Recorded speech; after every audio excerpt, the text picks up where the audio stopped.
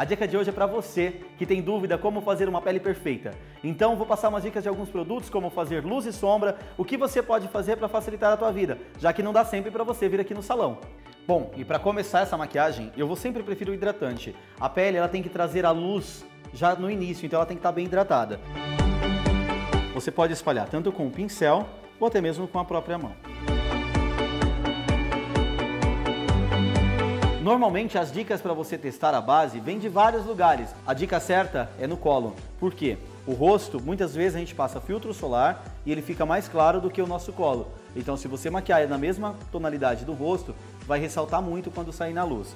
Então sempre que você for passar sua base, teste ela no rosto, no colo, desaparecendo é ela que vai para o rosto. Vamos lá?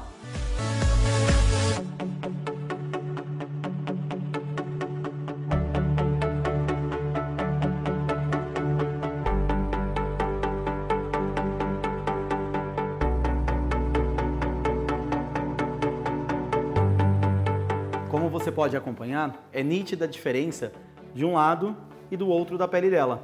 Então, a dica para você, nunca deixe de passar a base. O nome já é base, é o degrau, todo alicerce da sua maquiagem. Então é com ela que a gente vai construir qualquer maquiagem.